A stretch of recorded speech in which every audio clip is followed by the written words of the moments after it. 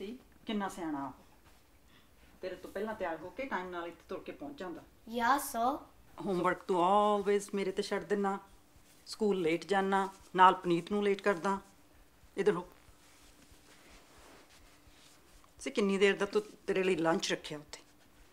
ਉਹ ਵੀ ਨਹੀਂ ਪੈਕ ਕੀਤਾ।